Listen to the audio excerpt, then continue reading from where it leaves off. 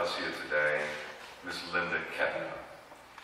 If ever there is compiled somewhere a listing of the Lowcountry's top civil rights leaders, top civic leaders, uh, who have achieved a great impact on uh, this new century and on the 21st century social and civic lives, then this next speaker would easily make the top 10. The president of KSI Leadership and Development, and co-founder and former president of the Alliance for Full Acceptance of an, an LGBT, excuse me, an LGBT civil rights empowerment organization, I give you the incomparable Miss Linda Ketner. Thank you, Reverend Nicky. Can you hear me okay? I'm taller than all these women. Hear me okay? I am totally honored to be with such great company and honored by the YWCA to talk with you this afternoon, but you know, I was thinking, talking with them, with rampant white privilege, black people have been listening to white people for a too long time already. So I want to talk to the white people today. I'm talking to you today. Now, you white people are at the requiem on racism. So you've heard that saying, I'm preaching to the converted. I'm preaching to the converted. But hopefully, maybe I'll say something that will spark a new idea or a new action that you might consider. Now, white people in general are not personally responsible for the unprovoked murders of Michael Brown and Trayvon Martin, Fred Gray, our own Walter Scott, our own Purnell, and hundreds and thousands of other African American men and women, and not personally at fault that African Americans receive more jail time for the same offenses as white Americans, or that a white man who has been in jail is more likely to get a job than a black man that has not been in jail. And as white people, we are not personally at fault that although statistics on everything from how many pigs and hogs live on U.S. farms and how many shark attacks happen each year, they do not see fit to keep statistics on police shootings. When I read that, that was one I didn't know, and I can't believe it. They allow police departments and police agencies to self-report.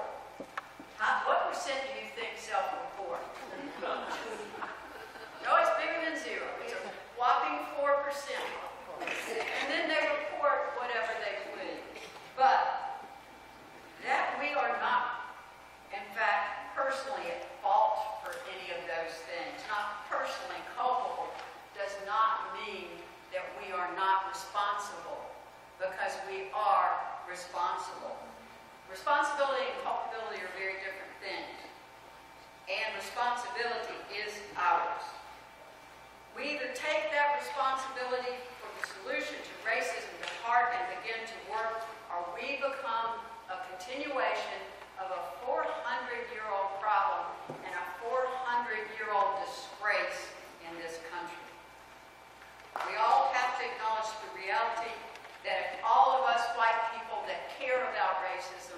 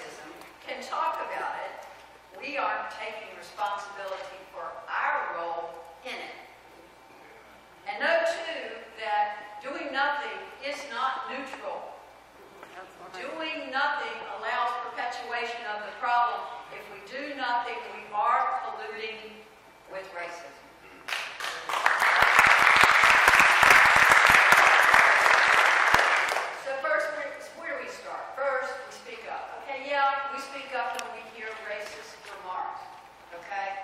But we don't stop there. We can't stop there. We need to start conversations, which as a white person I can tell you does not happen very often. We need to start conversations about racism in our schools, at work,